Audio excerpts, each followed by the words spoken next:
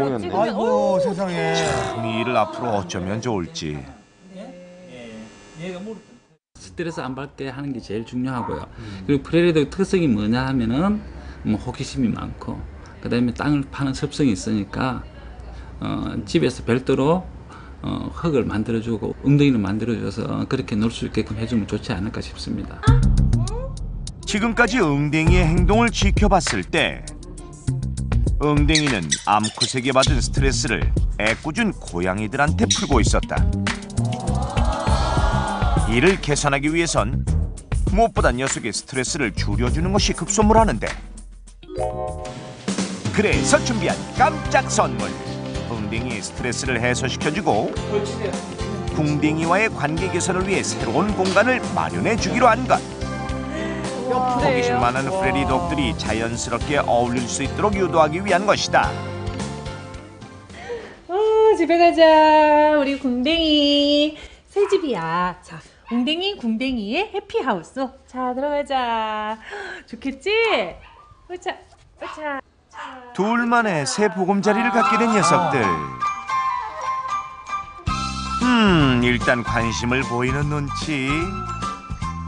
어, 같이 곧이어 노는데요? 프레리 독의 본능대로 땅을 파기 시작하는데 응대이가 지칠만 하면 궁대이가 나서 헛들 헛들 교대로 땅을 파며 환상의 호흡을 자랑한다. 저렇게 쓰라고 궁뎅이가 열심히 컸군요. 땅을 파고 난 뒤 구석구석 흙을 다지는 일도 있지 않은 녀석들.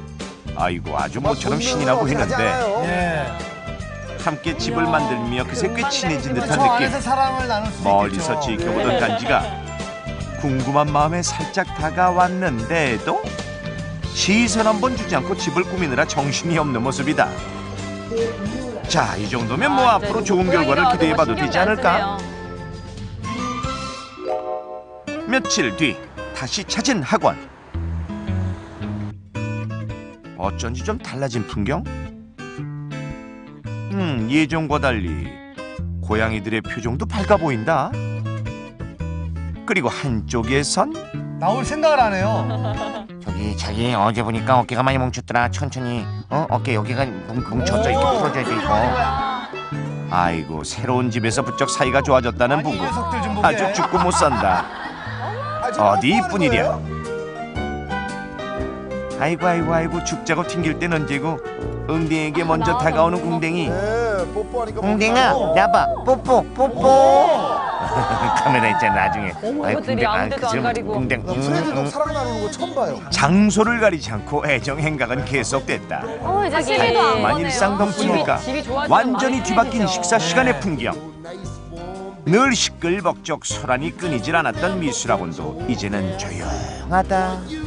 보기 좋네요. 바람이 좀 있다면 웅댕이, 궁뎅이가 서로 사이좋게 잘 지내서 이제 이세를 갖는 거거든요. 이름을 벌써 이제 생각해 놨는데 어, 아기만 태어나면 돼요. 방댕이라고.